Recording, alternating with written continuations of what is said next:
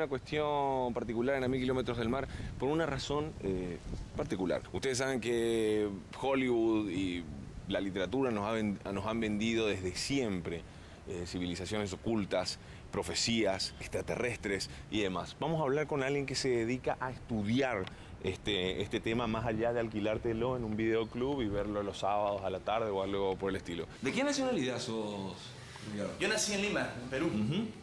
Nací en Lima, en Perú, aunque vivo actualmente en Argentina y hace casi 10 años, pero constantemente estoy moviéndome por varios países haciendo charlas, conferencias sobre el tema OVNI y otros asuntos que son muy profundos y extraños, pero que interesan a la gente. Pero interesan a la gente. Esto te compenetraste por interés propio, lo estudiaste, hay un título, se puede decir Ricardo González, ingeniero o licenciado en ufología, no, no, no. No, no, no, e-, estas cosas no se, no se estudian en una universidad exactamente.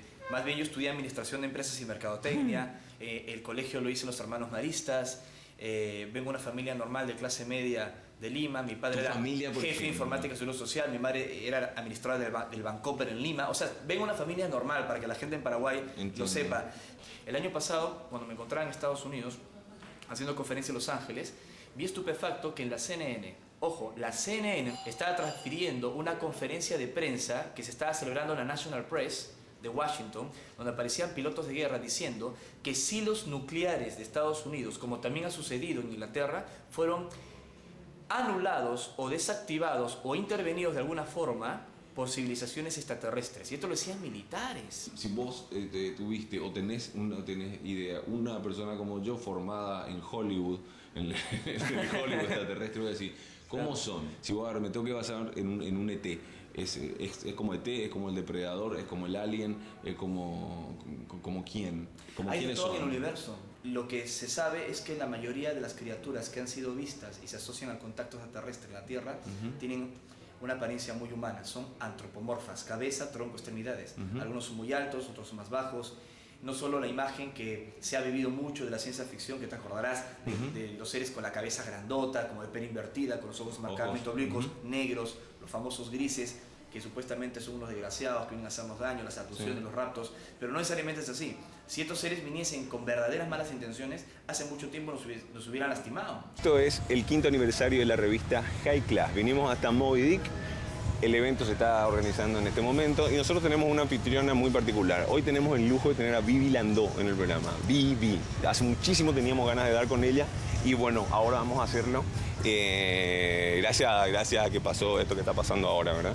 Yo te vi cantando, o sea, yo te vi cantando en el sueño mágico. Sí. Hay una cosa que pasó, que pasó a mí en particular, que yo me fui a ver Robocop 2 al Cine Cosmos.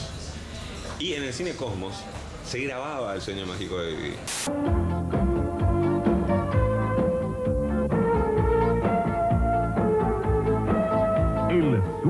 Mágico de Vivi. Sí.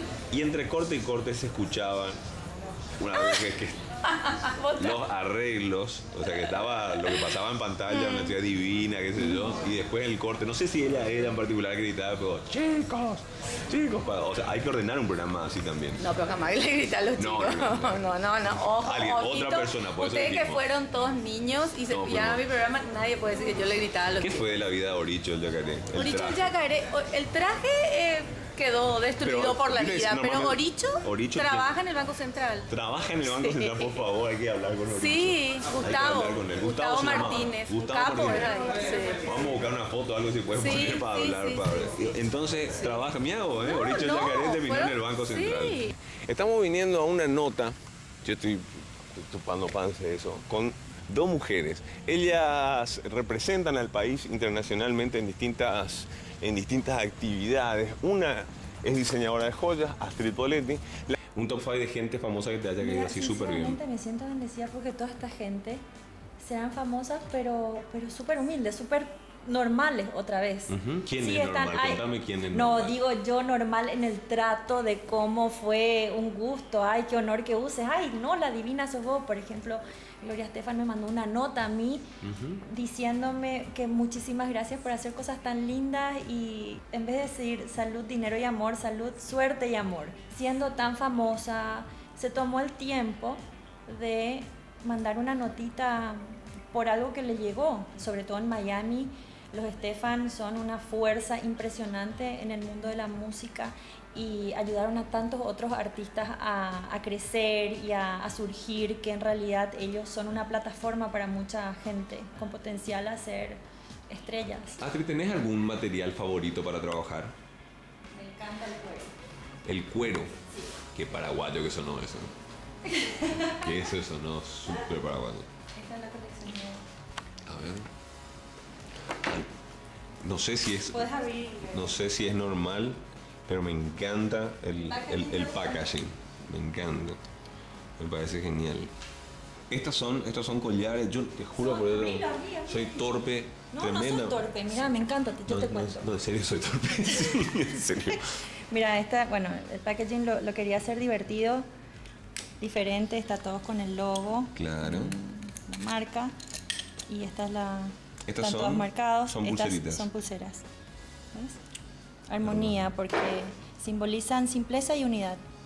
Porque hay, hay, un, hay un tenés, trabajas también eso, hay un detrás. Siempre, todo tiene, todo lo que, eh, si te metes a mi página, todo el significado los escribí yo. ¿En serio? Todos. A ver, acá viene el iPad. Bueno, esto es un poquito. Vamos a ver. La campaña de, de armonía. Entonces esto lo hice con unas bailarinas profesionales en Miami quería que fuesen unas ropas que estaban haciendo prácticas, no algo muy serio, entonces hasta por eso el cabello suelto, yo estoy metida en toda la parte de la producción, me encanta eso porque también se ve, quería hacer algo como bailarines clásicos, ¿verdad? Obviamente, pero con un poquito de flamenco, de fuerza, de pasión. Claro, porque a la hora, a la hora por ahí yo, me pongo, perdón también por mi ignorancia extrema, a la hora de, a la, hora de presentar, normalmente los desfiles están uno o la gente por ahí que está medio fuera puede relacionarlo únicamente con ropa y de repente desfilar joyas tiene completamente otra actitud, ¿verdad? Yo lo veo diferente a tal vez a lo que puede ser un desfile de joyas. Para mí eh, las joyas eh, es un look total. Una joya tiene que combinar con la ropa, le tiene que dar el toque final o puede ser el momento de inspiración para ponerte qué ropa ponerte con esa joya. Entonces es un, es un conjunto de todo. Eh, lo que yo hice en este desfile justamente fue mostrar que mis joyas pueden ser usadas desde la mañana hasta la noche. Entonces, estas son un poquito de algunas fotos de, esta colección. esta es la que te probaste recién, sí. Qué lindo. ¿Ves? Entonces... Muy bueno. Qué buen gusto. Ay, muchas gracias. Qué buen piropo, gracias.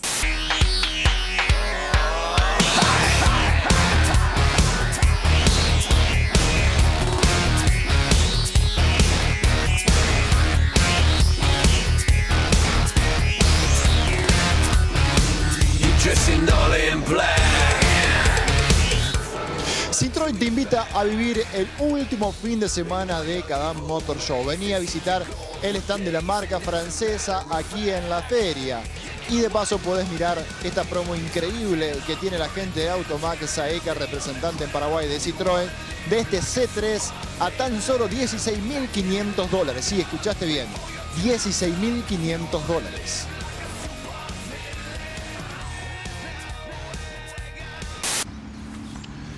Muchísimas gracias a todos los que nos estuvieron acompañando durante este tiempo. Los que nos acompañaron durante este tiempo pueden ser nuestras marcas, pueden ser usted televidente, puede ser usted eh, camarógrafo o notera, los que nos estuvieron acompañando, haciendo las cosas y demás para que nosotros podamos lograr este producto. El canal, gracias a Unicanal por permitirnos continuar todavía el año que viene y más. Ojo, Faltan todos los programas de diciembre, inclusive estamos peleando la posibilidad de hacer un especial de Navidad, un especial de Año Nuevo, con otras cosas y demás. Gracias a la gente de El Bagre, que hace posible también esto, el gran Carlos Sanabria, que ya no hace más cámara, él lo manda a Dani o a, Guille. Y em, nada, todos estamos creciendo. Como este lugar, por ejemplo. Miren lo que es. Te dan ganas de echarte un cloro al toque. pero es cierto. En fin, gracias a todos por estar a mil kilómetros del mar. El sábado que viene, un montón de notas. Eso sí, música, experiencia y entrevista. La ley de las tres E.